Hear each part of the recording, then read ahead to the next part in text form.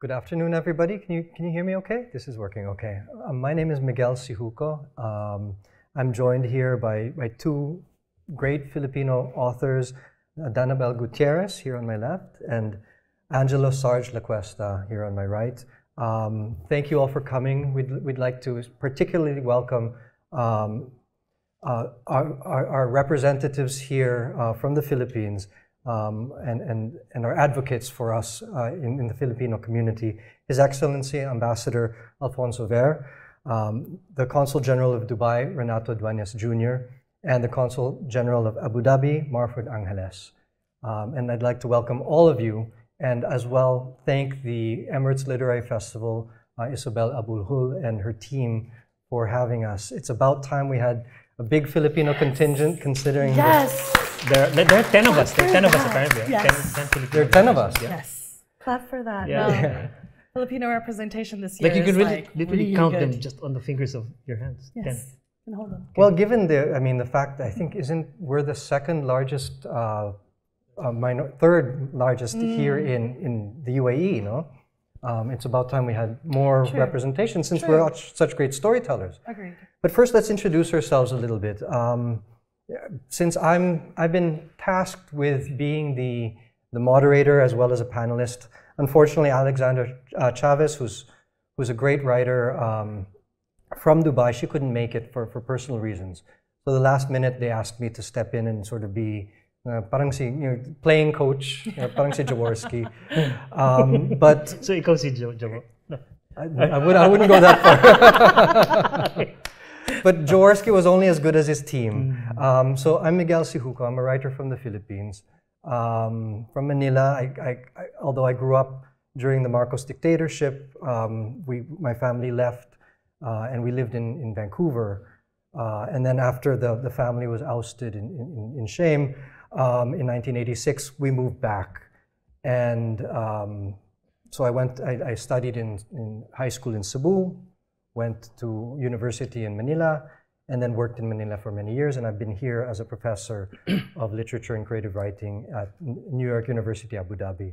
I'm a novelist, and I, have worked as a contributing opinion writer for the New York Times as well, writing mostly about Filipino politics. Oh, hi. please, please clap for all of that, though. Come on, New York Times. I am Danabelle Gutierrez. I am a writer, a poet most of the time. um, but my second, my third collection, which was launched earlier today, has short stories. So I'm kind of moving to the, you know, longer narratives. I've been living in Dubai for 19 years. But I grew up in uh, Cairo, Vienna, and Muscat. Uh, I was born in the Philippines, but yeah, so a lot of my work deals with locus identity. and all and, of that. And this is her uh, yes, her collection, Tears Across the Earth, which is fabulous. I highly Thank recommend it. And she'll be reading a little bit from yes. it uh, in a little bit. Uh, I'm Sarge Lacuesta. It says Angelo. My writing name is Angelo Lacuesta. It's also my passport name, but people call me Sarge. So you can call me. Everybody calls me Sarge. Why Sarge? I, uh, yeah. it, it comes from the Beatles. Actually, oh, Sergeant, Sergeant Pepper's, Pepper's Lonely oh. Hearts Club Band. So okay. I have a brother named Kite after Mr. Kite. so okay. it really paints a picture of how entrenched we were in colonial mentality. No, so and I grew up. Your parents were hippies. My parents were hippies. My parents Love were that. Hippies. My, Love my, that. My, my, dad was a bit of a gardener, if you will. No, uh, I'm sorry. We like yeah. that. So um, yeah, I, I, grew up in Manila. I, I, work in Manila. My wife and I. My wife is a writer as well. Uh, we, we work and live in Manila. So uh, I write, I, I love the short story form. So I've written many books of short stories. I've also written a novel. Um, I write screenplays as well and essays. So uh, back home, I'm the president of PEN Philippines, which is one of the oldest write, writing organizations in the Philippines. It was founded by F. Sionil Jose, who passed away over the just last two years ago. Two years ago. Two years yeah. ago, yeah. Um, I also uh, what else do I do? That's it. Well, you write I have a day job. Yeah, I write screenplays. Poetry and, I write screenplays and stuff like that. And this yeah. is My his latest book, Joy, which is amazing. I, am enjoying it, devouring it. Um, and you'll also be reading a little bit from it today. I'll be reading too, a little yeah. bit from it. You'll be reading from I Was the President's Mistress. Ah, yes, it's, it's my And, latest. Just came out uh, this year. Yep. Being a fan of uh, Dovie, Dovie Beams back then, um, you know, it, it's a beautiful book. I've read it. And Thank It's you. fantastic. Thank you. Uh, so today we're just going to make cuento. We're just going to hang out and talk. I was even saying that if only, you know, um, we're, we're, we, we love being here in, in, in Dubai, in the UAE, but if this was home in the Philippines, there would be San Miguel beer and chicharron on the table and we just make cuento. Sisig, um, maybe. Yeah. But now we have books and we have water. Yeah, that's and we have fine. but I guess the first question that I have for all of us is why do we write? Why do you write? What's what's the mm-hmm. point of writing? Mm-hmm. Um, we were talking about this in the green room, and I was asked this earlier today. Um, I write because I tried to quit and it wouldn't let me. um, and that's literally like I, I have a friend in the audience who I cry to, and I say, I want to quit writing. I want to quit writing because it's so hard. And then she told me, Okay, go ahead, do it. And then she, she was like, So what are you gonna do now? And I was like, Yeah, I'm gonna write. I'm gonna still write. Um, I feel like for me, writing has become something that I use to process thought. Like I can't uh, process what is happening outside of my body. I have to think about it and then write it um, before I can fully understand it. I don't know if that's the same with you guys. yeah, that, yeah. Yeah. That works. I think I write. It, it's weird for me because I can never imagine myself. I could never have imagined myself not writing. I grew up in a family of writers. My father was a screenwriter. He actually quit his day job to become a writer, which is the worst thing you can do. Um, he he wrote movies. He wrote a movie called Working Girls. No, cancer. He, he wrote that movie, and it, we grew up in that kind of environment. My mother taught uh, at Ateneo, the same school we went to. My mother taught in school. She she she she uh, has an MA in, in in literature. So we grew up in that kind of environment where books were really the way you took in the world, and writing was the way you expressed yourself and contributed to the world. So, question of why was not really a question. It was just why do you write this instead of that? Mm, there you go. I often wonder why do I write? Because it's it's painful, it's difficult. Um, I'd ra- you're indoors all the time. You know, you, you, you just become pale and, and hunched over your desk. People hate end up hating you. you People know? end up Yeah. hating you because they There don't you like your book. Yeah. They, they blame Yeah. you because they think it's whatever. Or, You make people cry because you're Polish. yeah, that's right. So, so Mika, why do why do you write? I write because our history as Filipinos has taught us that writing, that books and that mm. stories have the potential to change the world. When I think of, you know, the first great Filipino novelist who comes to mind is Jose Rizal, Of course. You know, who wrote to talk mm. about who we as Filipinos could be mm. outside of the Spanish mm. um, uh, conquerors, how we could he, he talked about the corruption. He made fun of them because you, you know, after 300 years, you couldn't get rid of the Spanish. They tried all these uprisings, and so what he decided to do was he decided to make fun of them. He decided to satirize them, and there was great value in that, and people were inspired by that. No, so much so that the Spanish shot him, as you know. No, that's why he's on our money, and you know, we have memorials to him, and that to me is a really great e- example. It's mm. I think we have a distinction of being one of the very few countries that have have a writer as a national hero. Hmm, I mean, yeah. It's very weird. And why is he in a, why, why is that? Not just because he was a martyr, mm. but because he wrote about what we Filipinos could be. And we saw it as a sign are. of mm-hmm. protest rather than Yeah, true. taking up arms. It was really mm-hmm. uh, the way to mm-hmm. engage mm-hmm. the Yeah. dispensation and the authority.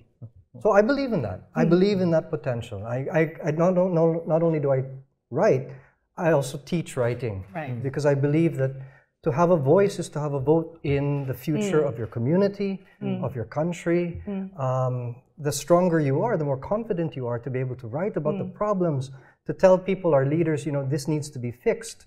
This mm. is there are injustices here in our community and in our country. That is powerful, and, mm. and that's why I try to teach the, the skills that I have, mm. and that's why I write.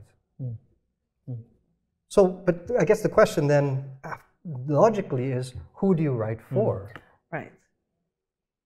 That's a very uh, sort of that's a key question for Filipino writers now, I guess, and for us on the panel because we we're, we're coming from different positions. So I, I, not because we chose those positions. ah. I, I, I live in Manila, so if you ask me who I write for, hmm. keep wondering to myself whether I write for my fellow Filipinos back home hmm. or fellow Filipinos everywhere, no? everywhere I meet. I still wonder no? because primarily I write for myself. No? Yes. But I write for myself as a Filipino. No, so Yeah. In fact, allow me to speak Tagalog from time to time. I- Oh. It looks like a fil- fairly. Mostly Filipino Eh, No, person. no. If, if you're if you can't speak Tagalog, just ask the person next to you. Make a friend. Ah, make, make a friend. Ask the person We're next to you. super because friendly. We're super Ask friendly. any of the 36,000 Filipino friends you might have. Right? so any- anyway, say? parang, di ba, parang Yeah. nagsulat ako, sinusulat ko para sa sarili ko yun. Yes. Di ba? Write Pero alam ko, aware ako, na Pinoy ako na nagbabasa at Pinoy ako na nagsusulat. Pag sinulat ko para sa sarili ko to, naiintindihan, naiintindihan din ng kapwa Pilipino ko. No mm-hmm. matter whether this position is, no matter where they're writing it from. And I think this festival is a really great sort of example of that. No? I write for myself, but all of a sudden, like I have an audience here. No? Well, then why do you write in English? Is one question. That's a, that's the is. thing that I have no control over. no? Right. And I like to think that, and it's not a defensive, I don't know. Ah. English is a Filipino language. I like Yeah. that. I think like uh, that. we, we don't have to explain why. We- It mm. is. It is. No, uh, it is a Filipino language, mm. and it's by chance that I, I, I know how to write in Filipino, mm. like prose. No? Pero when I write screenplays, Tagalog naman. Yeah. Tagalog ako. Uh-uh. The, the oh. characters speak Tagalog. Right. So I consider the, both English and Filipino Filipino languages. Yeah, I mean, we've been we were writing we've been writing in English, Philippine English, It is for over Philippine 100 English. years since the, the time we were a colony under the Americans. no? Right. Yeah, Right. absolutely. Yeah. So How about you, Danabelle? Um, uh, well, I write again also for myself. Um, and well, I feel like I exist as a writer for, and why I continue to exist as a writer and why representation is important for me is because of the people who are here. So for a long time while I was growing up, I didn't, being a writer was not an ambition because I didn't see Filipino faced writers, you know, where I was where I was. Um, and so my existence as a writer now, I still like to write, obviously, but like the noble the noble thought The of big- me. the big ano Oh, the big ano, is para makita ng mga bata na nandito that are kasi the, the diaspora of the Middle East is very it's malaki. Madaming mga Pilipino sa UAE na lang. Um, it's the original ko. diaspora. It's the original Filipino Yeah. diaspora. That's So, ako na lang, ganun din ako Mm. halos lumaki. So, I'm, I'm existing for them. yeah. For them to see na, oh, pwede pala. Mm. pwede pala itong mangyari. I can be a writer. It's not, you know. Because when they can see it, they can be it. Representation is very important. Yeah. And Miguel, speaking of representation, not not to lead the. Yeah, yeah. I really wanted to ask Miguel this Yes, because let's- you really led in terms of when you won that the the Man Booker Prize. Oh. no? The Man Asian. Yeah, Man Prize, Asian. Yeah. prize. Clap for that. Um, you really. Um, no, and, and it's a it, you, a you can't deal. downplay this achievement because it's an achievement for Yeah. Filipino writers everywhere. of course. No, did you feel like, oh yeah, this is like this is why I write, and Uh. this is a new voice for me, an identity. You're, you're carrying an identity. Well, thank you for, Yeah. for that. Um, for, for my first book, Ilustrado, I, I, I won this prize, but I wasn't the only one who was also on the, the long list. Uh, Krip. A short, Krip Krip Yuson, was another there. great Filipino writer, was there. Um, I, I think on the lo- long list was um, Lakambini Sitoy, Yes. right? Um, so the Filipinos, we, we are always representing ourselves on the global stage in whatever it is, whether it's boxing or writing or, or Billiards. whatever. Billiards. Billiards. exactly, That's right True. weightlifting, you know. Um, but uh, the reason I write is not so much for representation; it's it's for participation. Okay. I, love I write to participate in this conversation about the, the issues of Right. our time. Um, I also write as protest. I like that. You know, I I I, I come. I, my my father was a congressman. Hmm. I, I come from. I was born into a privileged background in the Philippines. Um, we lived in the U.S. during the dictatorship because times were really bad, and we are such a poor country during the mar- martial law, um, and it was dangerous. So we moved to Canada, and that's why I speak the way I speak. like many Filipinos, like millions of Filipinos abroad. Um, and my dad always wanted me to become a politician like him. Become a lawyer. Actually, become a movie star so then you can become a politician. So now that you've Well, that failed is what happens. So uh, now that you're a failure, Miguel, In his eyes, yeah. how does it feel? I feel liberated because I'm able to still participate, not in government and politics, the way he was trying to be as, as, as a leader, as a representative for, for the second district of, of Iloilo. Um, I tried to not represent, I, I tried to participate about these ideas. So in my books, you know, it's I, first book Ilustrado was 150 years of Philippine history, mm. no, told from the point of view of yung mga privilege, mm. yung mga eh, elite. Because I believe, or elitist, I should say, not mm. the elite naman, but because if we're to understand the people who are in power, we need to look at them very honestly and frankly. And because I was born into that privilege, I'm able to kind of expose or talk about it very honestly. And I figured if I'm going to criticize, I'll criticize first myself Right. and the people around me. The second book, I Was the President's Mistress, is, is a satire of Philippine mm. politics today. So it's, it's a mix of all these different politicos and the mm. different people in power. Because as a Filipino, as, like all of you, like all of us here, I think we've grown really frustrated mm. at the politics at home, at, at, at the reasons why we have to leave our country, leave our home to come work in the UAE and, and, and Right, be, be right. away from our families. And sometimes you get to this point where you're so upset that all you can do is make fun of hmm. the people in power. And that's what I Was the President's Mistress is about. So to me, it's not representation because who am I to represent the Filipino experience? I'm just hmm. one voice among so many. Hmm. Um, each of us have valid stories and perspectives, including me, I think. So I, I would not ever be so mayabang to say I represent and this and that. I mean, I got But lucky. you do. Well, You we do. each do. Yes. Not I don't represent any more than oh. others, any more than any other writer, just because I won a prize. Yeah. That's that's why I I want to pick up on that participation and oh. sort of direct it to you, Dan, Danabelle. No, no, no, seriously, Yeah. yeah, because one of the coming from your idea of participation is quite important to understand and realize that yung kwento ng OFW, the story Yes. of the Filipino diaspora, is the contemporary story of the Filipino.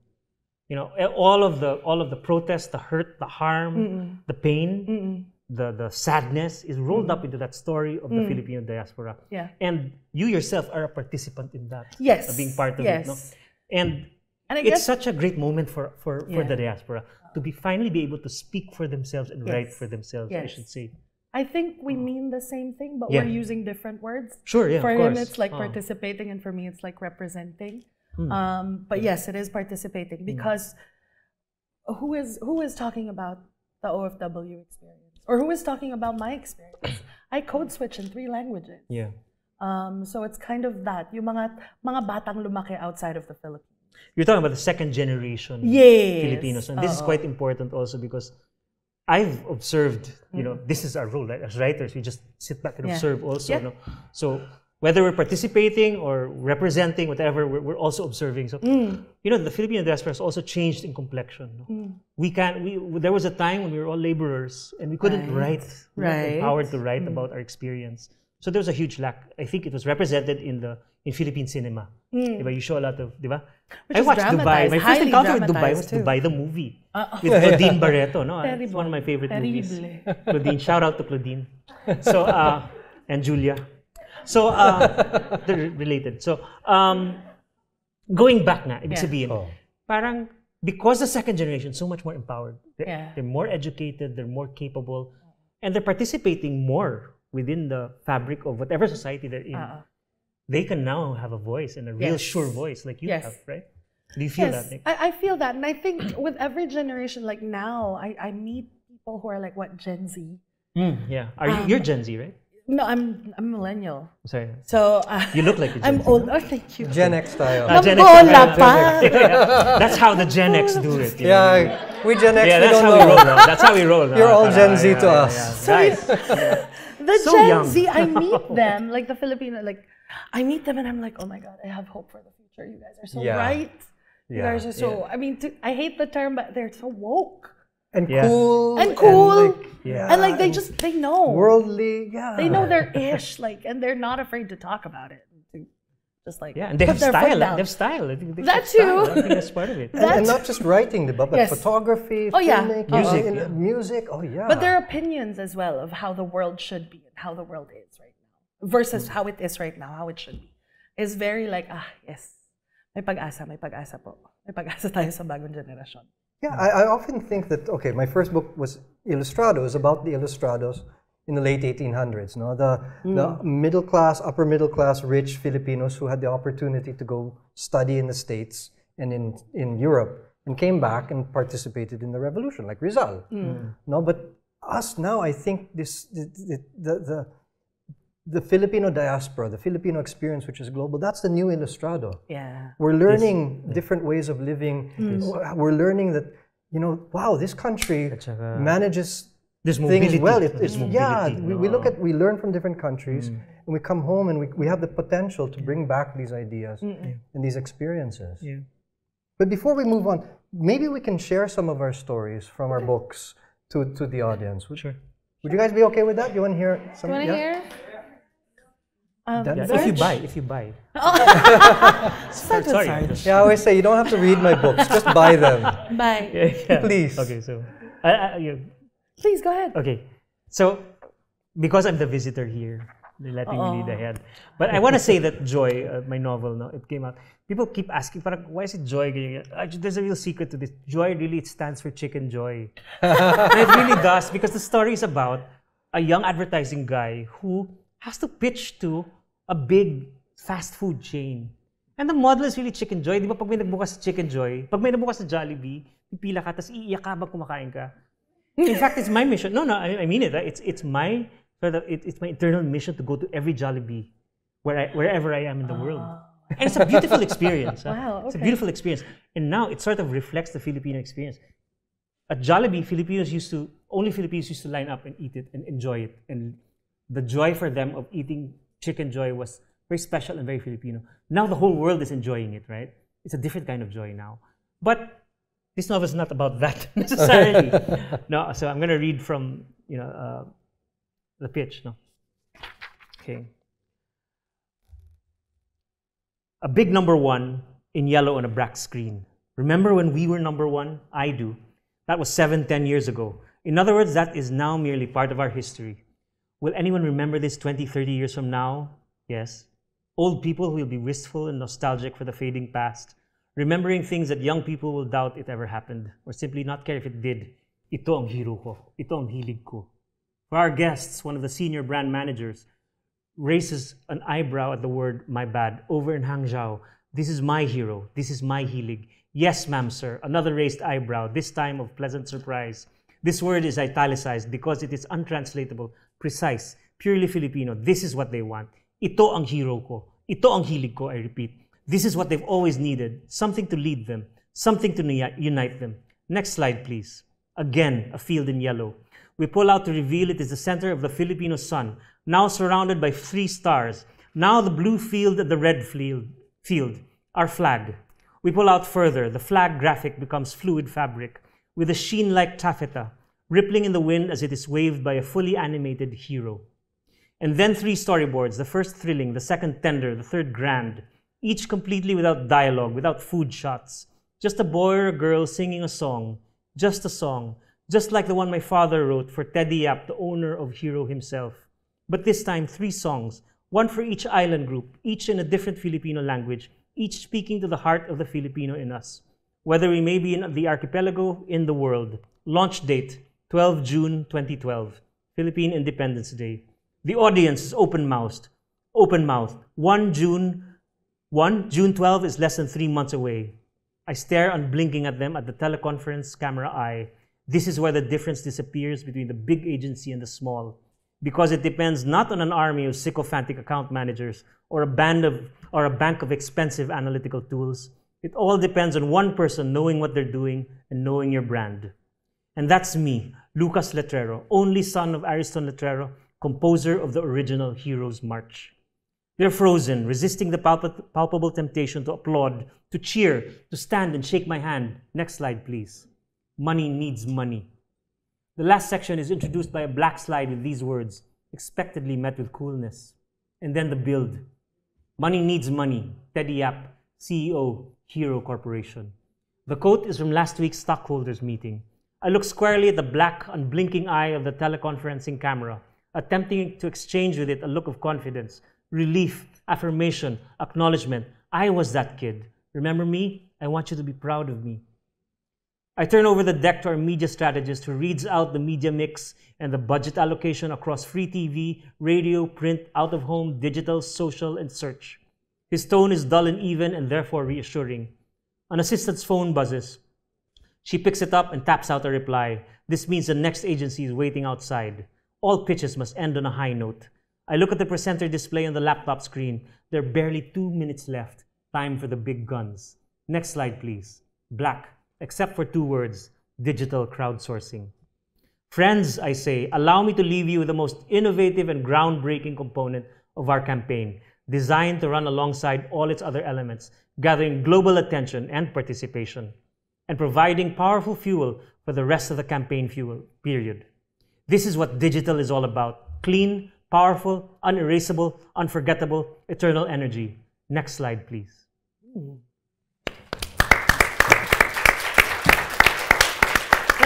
The next slide, what happens is like, the next slide is, is, is the Jollibee scandal. I mean it, so guys, I'm not going to tell you what the scandal is. Number one, you all know it.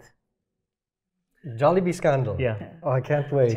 you can tell that you're a screenplay writer because the cadence of your sentences is like very speech-like. Well, I'm also an ad guy, so this is how we present our material. Okay. You know? I try to be uh-uh. excited about your own uh-uh. stuff, but you're really dead inside. Uh-uh. But also, but also a Love poet that. as well. Yes. I felt that. I, I can't call myself a poet because I'm married to one. So, you know. But there, there's a poet sensibility in the Yes. book also. You know, I, I'm, I'm, I, Thank you for that. Thank you for that. Thank you. it, it, it, it, it's, it's, there's a gentleness in getting into the story. Um, and, and there's also this trust in the reader as well, uh, with, with the details, with, with the musicality of it, um, both of, of what it represents and, the, and, and in the writing. It, it, it's really an extraordinary book, Sarge. Oh, thank you so much. Oh, yeah, thank you. Thank you. Thank you. Annabelle, do you want to Oh, read? or- Okay, okay. I don't know what I'm gonna read though. Hmm. Uh, this, you just launched this book today. Yes, so I did. It's quite fresh. so, uh, everything you read will be. Everything you read will be fresh from your heart. So Okay, let's have it. Let's do something multilingual. This poem is called Retaso. It's after Pacita Abad's painting. Uh, okay. Retaso. This is all of me, stitched, delicate lace and mess, left of center, puncture, punit na hindi mapunuan, dayo sa gilid at napapaligiran. Patuloy ko pa ring hinahanap kung saan ako lulugar. Ancestral patterns zudecken. Ich versuche zu verstehen und ich möchte verstanden werden. Inakong iniwan, tatanggapin mo pa rin ba ako kapag oras ng umuwi? Patatawarin ba ang paglayo sa gutom at kamatayan? Baon sa balat ang pamana. Unable to be excised or exercised. Every footstep followed by spirits, in dreams, sa alaala, sa pangarap na tahanan, when I cling to your thigh with questions, please don't respond with fire or freeze. I think I should have known. I can find answers elsewhere. I'd love to hear it from you. Do not wish me more eyes, less mouth, less tongue, sharp. Tell me what was. Help me imagine between my teeth. Im abendrot, fil sabah, what can be. Sa pag-aagaw dilim, must I burn from yellow to red to blue to find my way, else to be light. Either way, strike the match, set me ablaze. It's beautiful. I've always, I've always admired how much sensuality there is in, in, your, in your work. And Shall we talk about it? Sexuality pa ba yun? Nagpapasunog na nga ako. No, but uh, uh, you, you, the, the fact that you use different languages. Yeah. Ah, yeah. And you just mentioned that you code switch. I code switch, yeah. It's very Filipino also to code switch. It's quite Filipino to code switch. To speak a different language to your employer, Yeah. speak a different language with your friends, with your friends, yeah. and also to, to people who work under you. Yes, No? yes. Uh, like even our maids have maids. They say, Yeah. no? and so Yeah, so yeah. They code switch a lot, and it's, it's part of our fabric of society. I used to stop myself from doing that. From code switching. From code switching. Sure, I used to stop myself, mm. especially from writing in Filipino, because yeah. I did not feel Filipino enough. Yeah, That's that's, so And I felt isn't like the real Filipinos were gonna come out and be like, "Aha, so susunugin kita." But you are a real Filipino. I just want to I say, am a uh, real put that out there. Filipino. That we, we, we Like, all I are, have a right? We passport to prove it. Yeah, That's the are. thing, but I mean, we have such a richness of our culture, Yeah. all the different backgrounds and languages and experiences from all over the world. I find that a lot of a lot of times people try to exclude you from being Yeah. Filipino when they just want you to be quiet. Yeah. You're not part of this conversation. That's a you're not kind of good enough to oppression also, and No, that, Yeah. that kind of The thing is because I get it from re- uh, other Filipinos. I don't. I know they meant well or whatever, however they meant it, but they're like, "Di ka naman Pilipino. Araba ka na. Yeah. Ah, really. European ka na. Di ka Or naman just throw that book of yours at them. Make them, take, make them buy it first, no? Make them buy it first. I just want to say. know, but I- seriously. Even during the pandemic, I went to Baskin Robbins and I was wearing a mask and I had long hair. I had pandemic hair. Yeah. You know, it was long and We all had ponytail. pandemic hair. No, I had long hair. Yeah, No, and, and so I go to Baskin Robbins, and, and the lady behind the counter is Filipina, with her with her friend, with her colleague who's also Filipino, and you know, I, I, I, I she goes, "Hello, ma'am," and I said, Hey, that happened to me in, in London. Parang I was trying to look, said- di ba, you try to look uh, sophisticated, parang Yeah. a man of the world. Yeah. Tapos, pagpasok ko sa London, sa, sa this store in London, pogi, so, so I go, masisira eh. "Hello, ma'am," and I, "Hello, can I have one uh, cookies and cream ice cream?" Ay, Ay, lalaki pala, Achichi. man pala, he's a man, lalaki pala, and I said. Oh, lalaki ako. Ay, Pilipino pala. Kala ko liba, ibang lahi. So it's, Do- it's so double- hard to double fit in. Oh, I know. double ang like I don't belong. Uh, no, Miguel, um, speaking of uh, code switching, no, your, your, your novels have always been linguistic. You know, I, I like to think that the, the heart of a novel is it's a, it's a linguistic exercise, especially the Filipino novel. It's, a, it's a linguistic uh, feat, I should say. Part of, of course, it's other feats too. No, But uh, what do you think of that? And but I guess you're going to read something Sure, also yeah. that, that speaks to that, right? I, I try to be, I, I, I like to play with language. Yeah. English is my sharpest tool. Sure. Yeah. So um, I'm, I'm always trying to innovate. Um, going back to the question of who do you write for, I write for whoever likes my work. Okay. Not everybody does. Fair. It's it's sometimes very challenging. Hmm. My mom always asks me every time I come out with a book. She says, "I'm so proud of you, but next time can you write something easier to understand?" But to me, it's like, well, if I love it and I understand it, who am I to say that others hmm. won't? You know, it's I. So I'm not gonna try to. I'll, I'll write to whoever likes my work, hmm. and so I'll, I'll share this. This is from the the, the first chapter, the first line of, of the book. Um, it's a story of Vita Nova, who's a, um, celebrity Instagram in- influencer, um, who was the mistress of the president. Of I was the president's mistress. She wants to write a celebrity tell-all memoir about her relationship with the president. So she's talking in a in an interview to the guy who's going to be her ghostwriter. So the book is a series of transcripts of interviews. So this is the first one. Um, and she was a minor character from my first book, Ilustrado. She was this, this, this, a a woman of ill repute. And, and I, I thought, you know, I, I always felt bad about portraying her that way. And I felt bad about how the male characters in my book portrayed her. Okay. Mm-hmm. So I thought, okay, for my next book, I'm going to let her have her own You're gonna give that voice. voice. I- Invite her to have her that mm. voice. So this is the first line. This is how it starts. I know you're wondering. Yes, it's true. His birdie is thick, as he's always saying, but like a thumb is to a finger, and hard to hard to find beneath the paunch and hair that make a nest for it to rest on its two eggs, or repose, if metaphor is more politically correct. Read the pitutoys of powerful men. His is bigger than you'd guess, smaller than he thinks, and would prove his downfall, obviously. on his lap I'd on his lap I'd lay my head and talk to it. Hello there, little sir. You look endearing. Why do you quiver with such rage? At attention, it resembled the speechifying Mussolini, like in the photos in the biographies the president left by the toilet in my CR. Did you know that we spent a life's total of 90 days on the can? Did, he admired men so great we know them by their initials JFK, LKY, FDR, a kind you'd never imagine on the porcelain throne. Though most of all, he respected Hitler, the brilliant and the tragic, he said, whose one name was enough.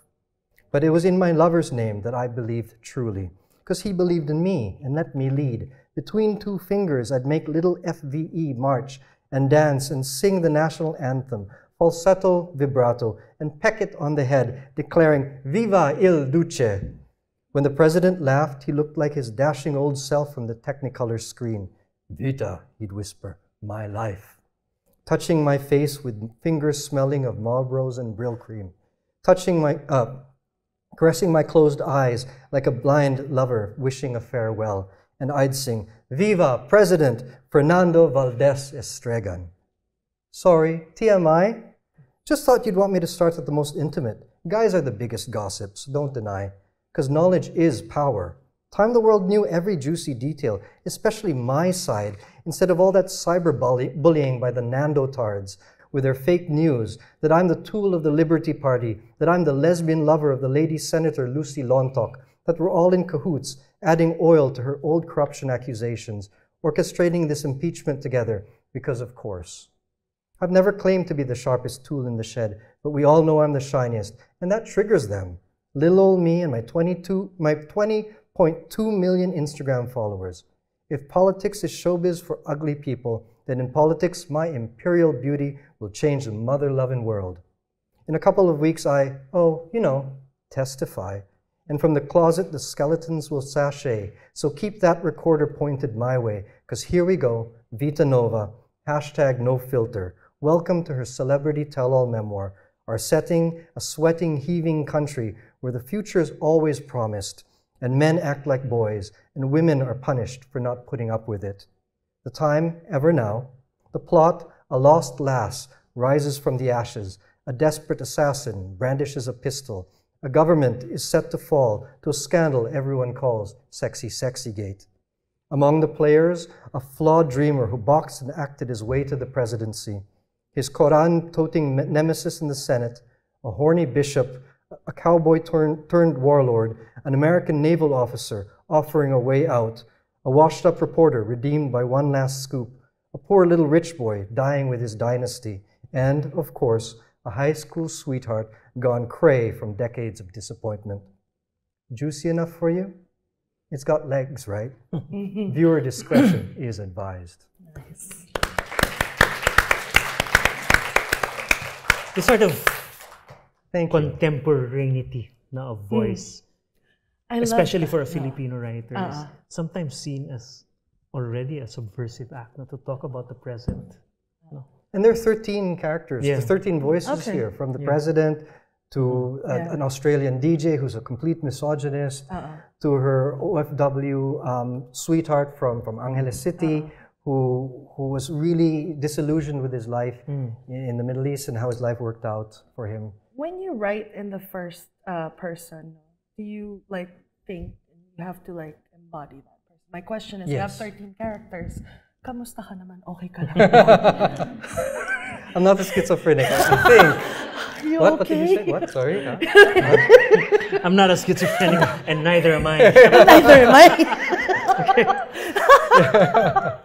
Love that. Yeah, I, I, had to inhabit. Uh-uh. I think a lot of writing is, uh, you know, we, we I, I write opinion pieces mm. about Philippine politics. So, and yes. I read a lot about right. other people's opinions. So I thought I'd write a book of all these different people's opinions about Philippine society, Philippine politics, the world, all mm. of this.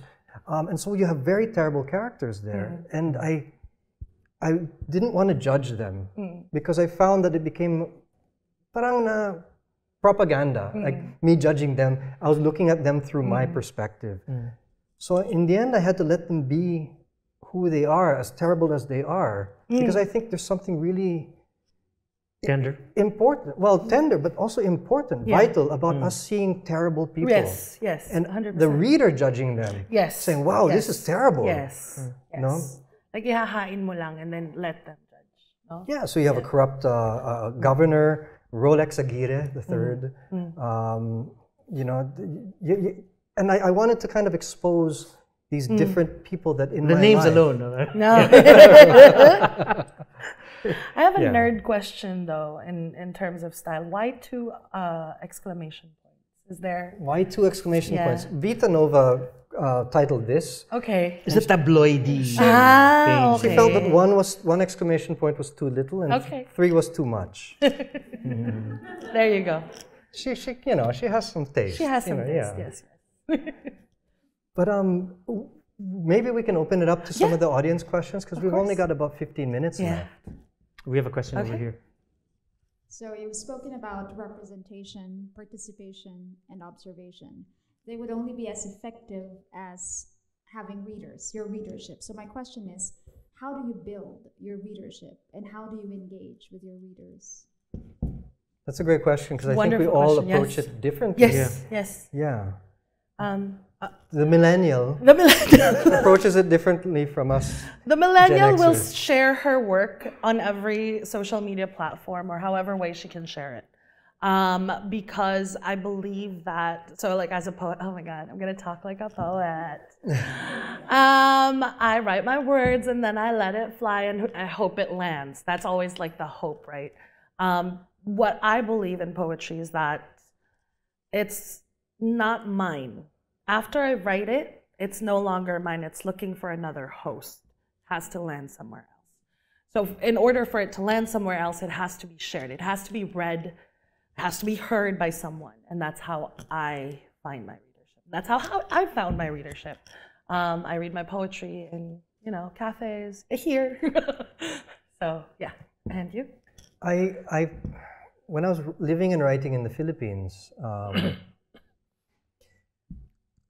I felt that there were opportunities to publish in the Philippines, but I was really upset or frustrated that it was so hard for Filipino writers to be read all over the world, internationally, even though we're writing in English. So I went and I studied in, in the US and I lived abroad, um, trying my best to get to know agents and publishers, trying to find access as a Filipino writer. Um, because weirdly enough, there's so few Filipino novels uh, coming out, more and more than there are now. But back when I started writing, maybe about Yeah. 15, 20 years ago, there were so few, maybe one or t- one every year. Out of 250,000 titles that come out in English in the US, there would be one Filipino. So I thought, you know, I want to I want to be bust in. And I also knew that, sorry?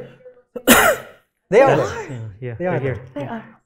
Yeah. Or maybe sold out? Sold out. I didn't buy them.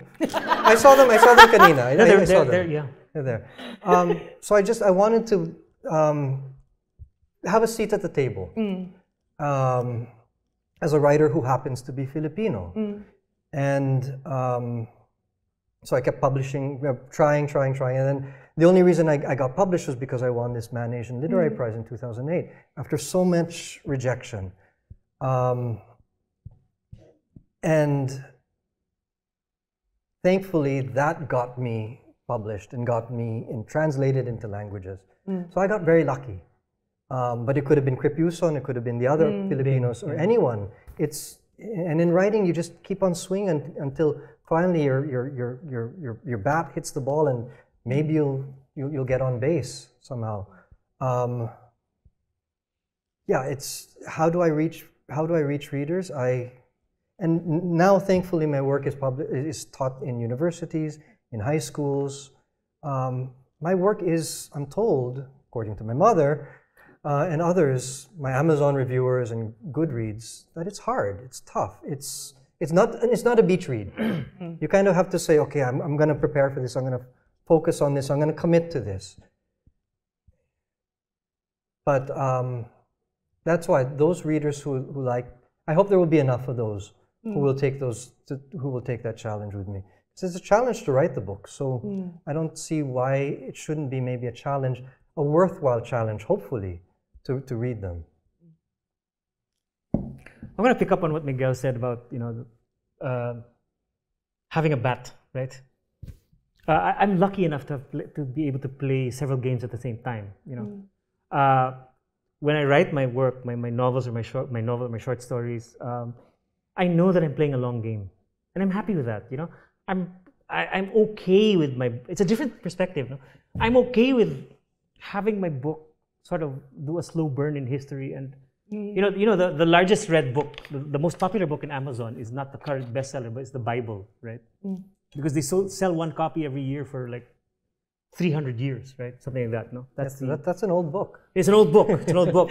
I hear it's a good book. Seriously, uh, That's what they call it, a good book. it, yeah. But seriously, I, reviews I, are I'm good. able to play the long game, and I'm patient mm. that way when it comes to my literature, my, my writing. In that sense, I don't need to play to an audience. Mm. I can actually afford to play to posterity. Mm. I'll play for myself, right? But I, I write screenplays as well, and whenever I write a movie, I'm, I'm writing a couple now. I know that it's gonna connect to an audience, and I make I write it so that it connects.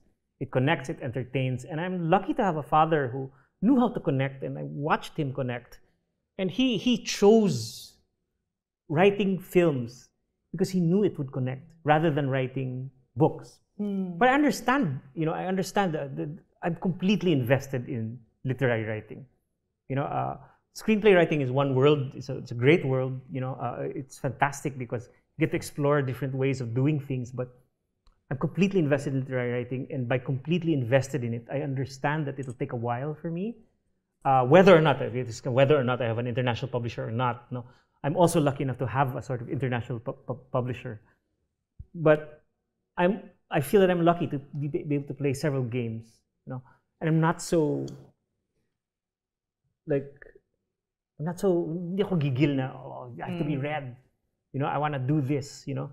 Um, I think that uh, just like and I, and I want to connect this belief to the to Filipino culture, you know, to Filipino culture, Filipino literature, food, for example, right? even if it takes us 100 years to be appreciated, to be read by our own people or by other people, it takes us 200 years. I'm okay with I'm okay with that. Let's play it out. You know, let's play it Yeah. out. Uh, you know, if I don't get appreciated, but my grandchildren do, or you know, the younger generation does, that's fantastic. We have to play it out, and we have to put faith in our own process as a culture. Meaning, we have to put faith in our product. Keep producing it. Forget people who say you're not Filipino, di ba? Forget people who say you're not allowed to write this or write that, right? Just keep, I guess, you know. And it's it's quality, diba? It's not Uh-huh. quantity. It's we. I guess we're all here because we like to read. We we, we like books, and Yeah, the investment is also on their end. No, parang, yeah. yeah, it's it's. We know that if I wanted to have my message or be heard by tons of people, I'd have a TikTok account, you know, and that would be my medium. But I, I don't have social media even. Um, but a book, if I can just have one person, because you, the connection is deep through books. Yeah.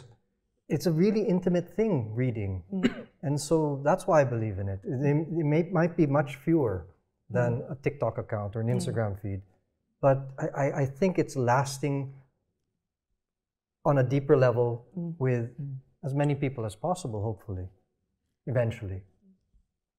Do we have other questions? Oh. We have one here and then one there. Ah. Oh, you're first and then here after? Okay. Yeah. Hi. Um, so um, as as I was uh, sorry, um, when I was uh, on my younger years, I was originally I wanted to become a writer, but um, we talked about like being the earlier generations, the younger generations, and um, sorry, I'm not making sense. but You're making great um, sense. Yeah. So, um, well, I guess what what what advice would you say, or like, what are your opinions on parents who say that um, you won't get, uh, you won't earn any money writing? Because, like, I think most of Filipino parents, I know we're kind of open to it now, but like, as a young person telling like elderly, oh, I want to become a writer someday, the first thing that they will tell you is that you won't earn any money in writing. So I guess what are your opinions on or what would you advise for parents who still have that mindset on not getting their kids into creative writing and publishing books? Sure. So Yeah. You want to go? Oh, okay. Um, those parents are right though. Yeah. Can't lie about that, no? You can't lie. Oh. No. I, I, I totally But- disagree. No, but but but so you can still write. You can use creative writing. You can do, but you have to do advertising, copywriting. That's still writing, right. Still That's still writing. writing. Writing. But then on the and but what else? What another thing that you could do is you could have a job that just holds you down, um, and you know pays for your bills and do your writing on the side. I'm speaking from experience. No, no, absolutely, absolutely. Yes, of course. And I, I, and then Yeah, yes, I'm the same. I teach as well, right? Um, I was actually disowned by my father uh, because I wanted. I ran away to become a writer, and uh, politically also, he didn't. I didn't agree with him. I didn't like the way he was as a person and, and as a, a, a politician, and he didn't like my my values. I'm super liberal, super whatever, and so I got disowned many years ago, and we didn't speak for many years. And in the end, you know, when he went, we never really reconciled so much which is really sad, all because I wanted to become a writer. But I've found that writing has a long apprenticeship. It mm. takes a long time to learn and to get out there, build a CV, um, have, make opportunities to become a writer. Maybe may might take 5, 10, mm. 15 years. Mm. How long does it take to become a doctor? Mm-hmm. How long does it take to become a lawyer? Mm-hmm. How long does it take to start a, a business that starts making profit? Yep. It also takes a long time.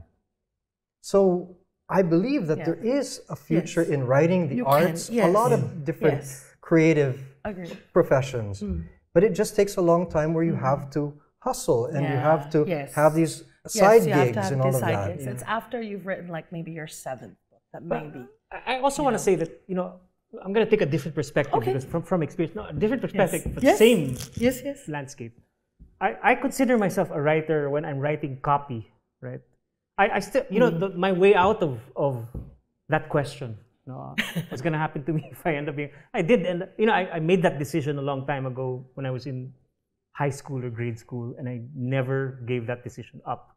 But along the way, I became a writer in different forms. I, I now own an ad agency. I own a digital agency as well, and it, it's uh, it's the thing that pays the bills. No, uh, I I uh, I write for movies, and I, I write. I employ writers now. In, in uh, I own an SEO agency, and it's writing to me. You know, all of this is fed by just still the same thing, writing.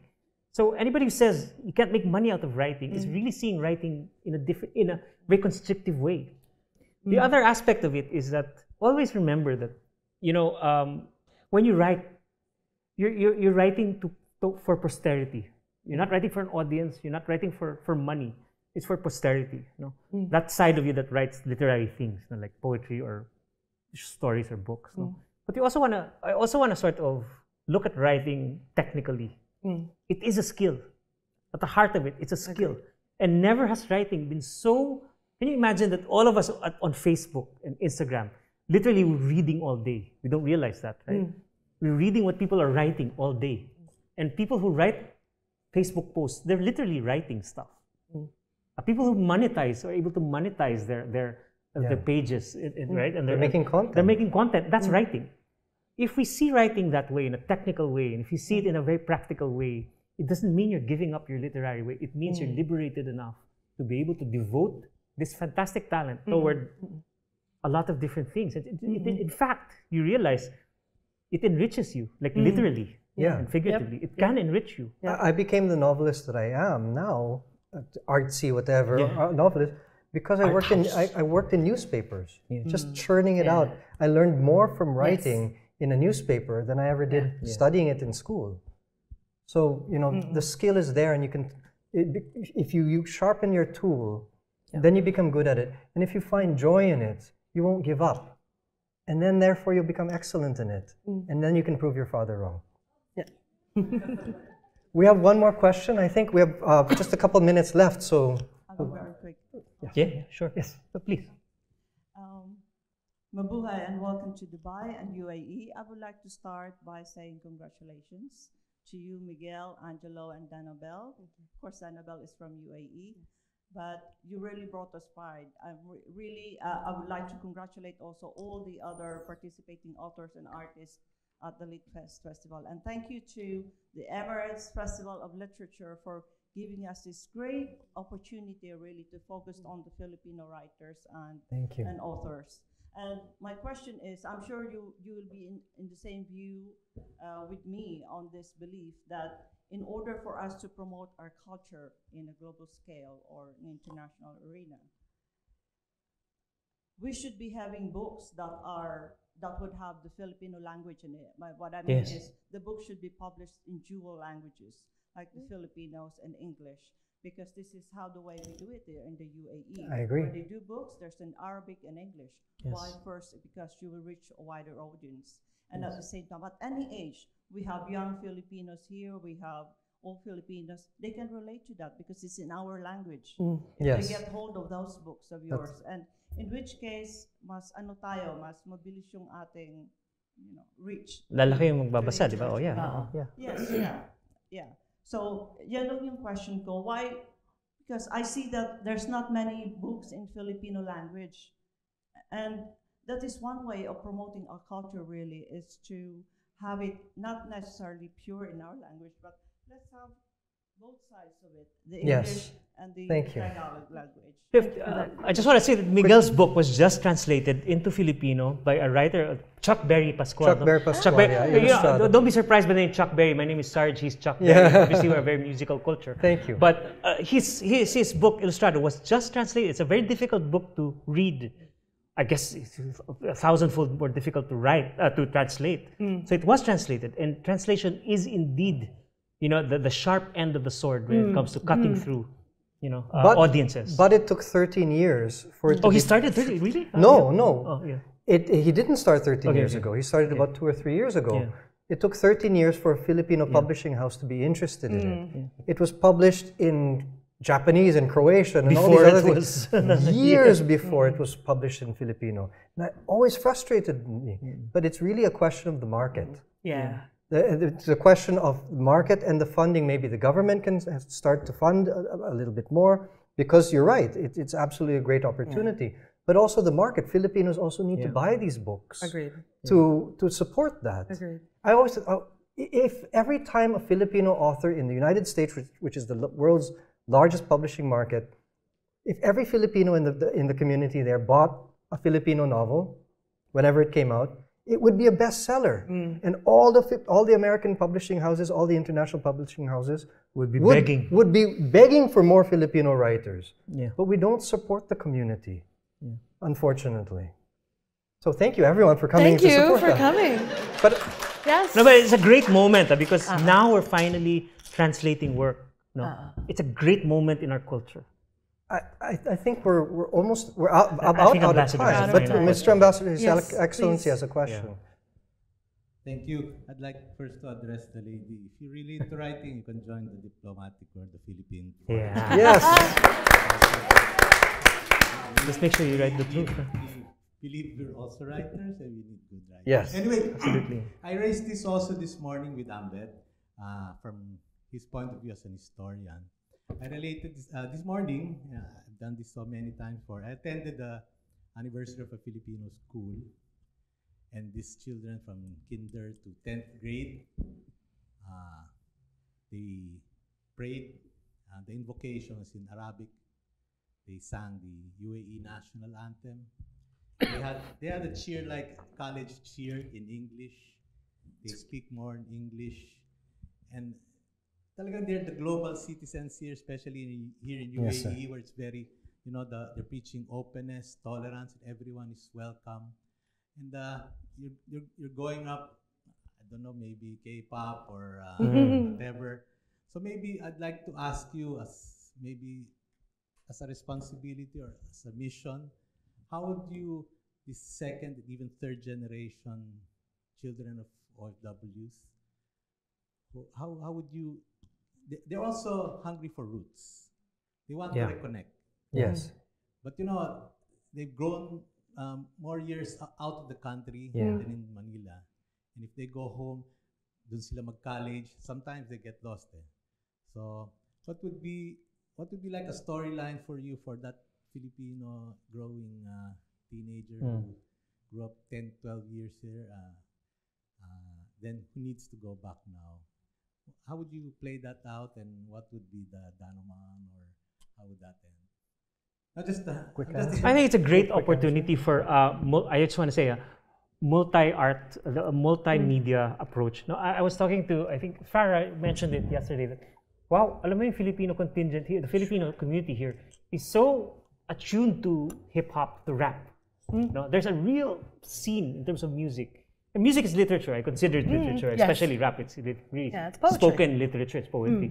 And I want to throw that. Na, it's it's particular. The poetry is a story of a of a people. Talaga, no. Uh, and uh, uh, there are there are forms that uh, immediately connect. I, I, I suppose this is why also you chose poetry. Yes, No?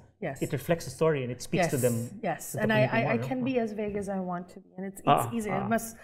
I don't have to explain everything. You know, in a story, sometimes you have to like explain everything. Where in poetry, I can just be like, I'm, I'm alluding to it. Yeah, music is like that too. So So therefore, the, Yeah. the these younger generations Yes. can they respond to it. They They Yes, respond to they it. respond to it because then, yeah, it's um, yeah, yeah. I think there are forms now like poetry.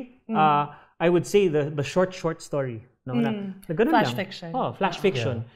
Those are so uh, crucial in Yeah. attracting audiences and writers.